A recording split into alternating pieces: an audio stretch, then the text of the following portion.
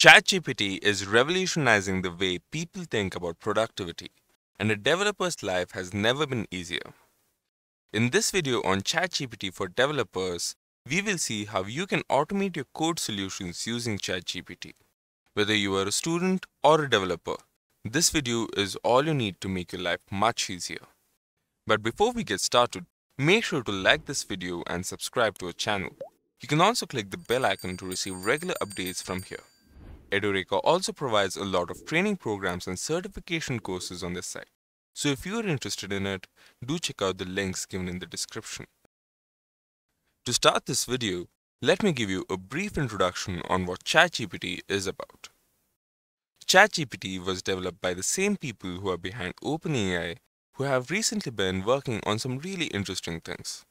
They have built stuff like GPT-3, Codex, DALL-E, etc. But I think most developers would know it more for OpenAI Playground, which has helped many people write really good code. ChatGPT is just a simpler and more versatile extension of this. It can hold conversations, write blogs, write code, fix errors, provide management plans, etc. All of this is being done for free. So you can think of ChatGPT as an AI model that is capable of generating text based on prompts.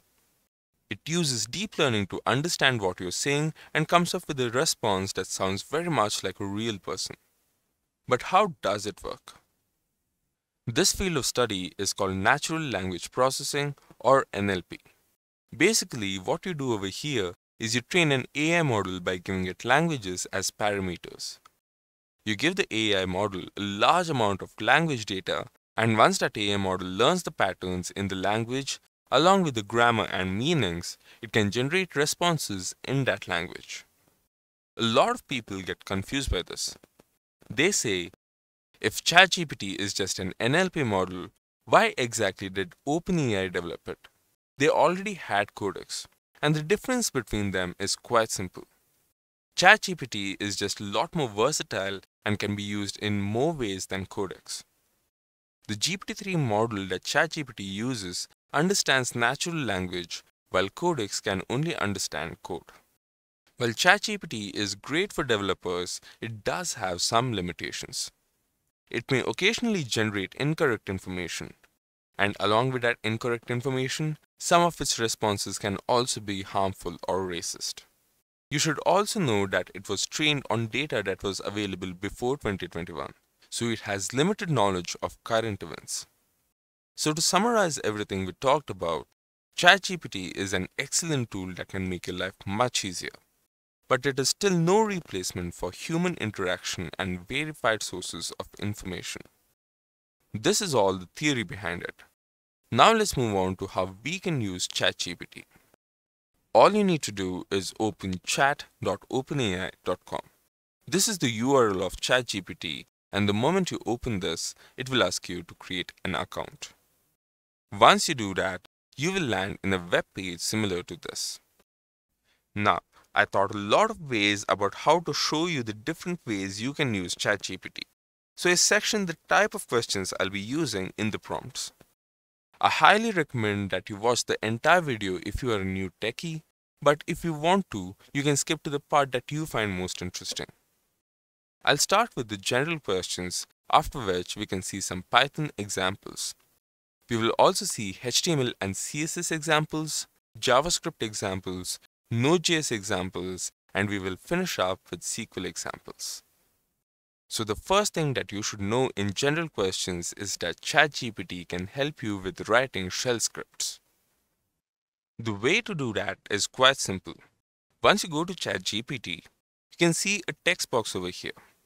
This is where you write your prompts and once you click enter, ChatGPT will start generating a response.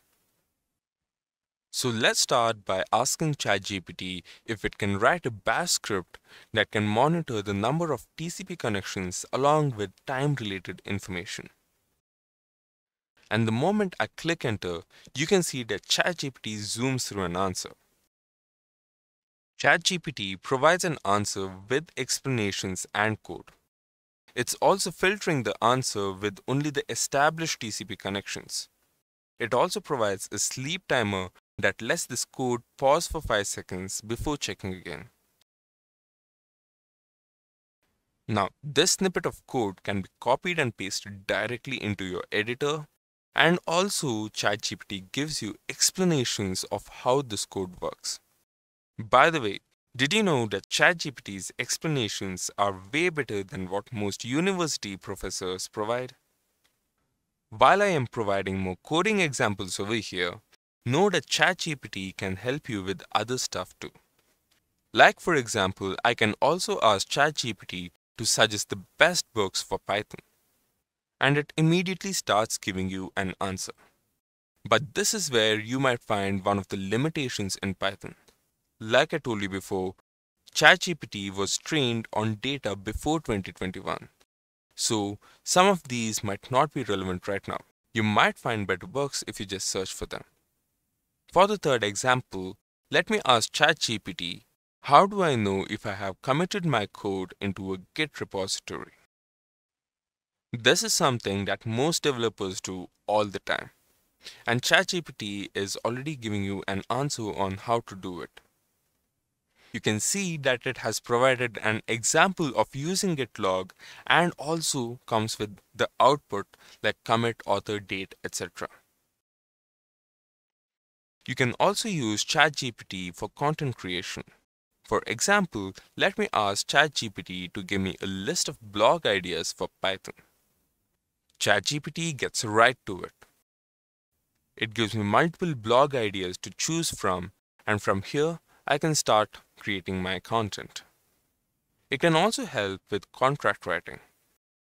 For example, let me ask, can you create a contract for a video release which is specific to Indian laws? And ChatGPT starts by saying that it does not have the ability to draft a contract specifically tailored to certain laws, but it does provide an overview of what that contract should contain. This answer might not be everything that you hoped for, but at least now you have an idea about where to start from. You can also use ChatGPT to prepare for an interview. Like over here, I have put help me with my Python interview and it gives me a list of the most popular questions asked during a Python interview. You can start by learning answers for these questions and then move on to additional stuff which ChatGPT itself has mentioned like data structures, control structures, functions, classes, modules, etc. It also tells you that you should be familiar with common libraries and modules used in Python, such as NumPy, Pandas, Matplotlib, scikit-learn, etc. ChatGPT also gives you pointers on how to approach the interview, to mention your past projects, and to be prepared for problem-solving questions. If you are a student using ChatGPT to revise your knowledge, you can also use ChatGPT to help you with different kinds of programs. For example, I can ask, how do I write a program for Fibonacci series? ChatGPT will give you a code and also the explanation of how this code would work. This tool will be extremely helpful if you are just reviewing your knowledge. Moving on to Python examples, you should know that ChatGPT is extremely good at writing Python code. For example, I can give it a prompt like, how to scrape the first 50 results from Amazon for the search term smartphone. Now, this is something that a lot of data analysts do on a regular basis while collecting data and you can see over here that ChatGPT is already importing requests, beautiful soup, etc. and integrating various libraries into your code. It's storing all of the results in a list called product list and it is looping through the product list to store all the relevant data. You can also see that it has mentioned class names over here. Now this might not contain all the details that you were looking for. And if that is the case, then you can prompt ChatGPT to update your answers with the details that you require. We can also use ChatGPT for regular coding tasks. Like let me ask ChatGPT to write a Python program that can generate an OTP. These are the type of codes that developers run into once in a while and with ChatGPT over here, you don't need to Google for these solutions anymore. You can also ask ChatGPT to provide codes that help you with image processing. For example, let me type write a Python program to blur an image. And you can see over here that Python immediately imports the CV2 library and then uses imread to read the image, uses Gaussian blur to blur the image, it shows the image, uses a wait key and also then destroys all windows. The code has also given you input options where you can enter the path for your image. These are some of the applications that you can see for Python using ChatGPT. Now moving on to HTML and CSS, let's first ask ChatGPT to make a website template using HTML and CSS with a beige theme. You can see that ChatGPT directly heads over to the code and it starts with the HTML code, adds a CSS section which follows the beige theme website. And is being quite quirky over here by adding a h1 tag saying welcome to beige theme website. This is the power of ChatGPT for web development. It not only provides you the HTML and CSS code, but it directly understands that you need to have different sections like about our services etc and also adds copyright footers it provides you with an explanation of what goes on in the code which you can directly use in your documentation Let's now ask it to write HTML and CSS code to display a profile picture at the top left of this website. This is something that developers usually do and is quite simple, but still, it is a great way of showing ChatGPT's capabilities. You can also see that the code has included dummy paths for your images. This is something that you can change after you copy this code into your editor. Moving on to JavaScript examples, we can first ask ChatGPT to write JavaScript code to send HTTP requests. ChatGPT begins by saying that we can use XML HTTP request to do this. And then it gives us a sample code snippet on how we can use this. After that, it has also included an additional snippet that tells you how to send a post request. And like usual, you also get some documentation right at the end which explains how the code works. We can also ask ChatGPT to solve a very common use case that is done in JavaScript, and that is to verify user information. Write a JavaScript code to verify user information like name, age, date of birth, email ID, and password. ChatGPT begins by creating a function called verify user info, after which it fetches all the variables. It then starts verifying and validating information. You can see that it has verified name for the null condition, verified age for empty or age less than 0 condition. It has also verified the email syntax and has checked if password is greater than 8 characters. When all of these verification checks have been passed, it provides an alert saying user information is valid. Now let's move on to Node.js examples. We'll first start by asking it to write the backend code for an online delivery company using Node.js and Express.js.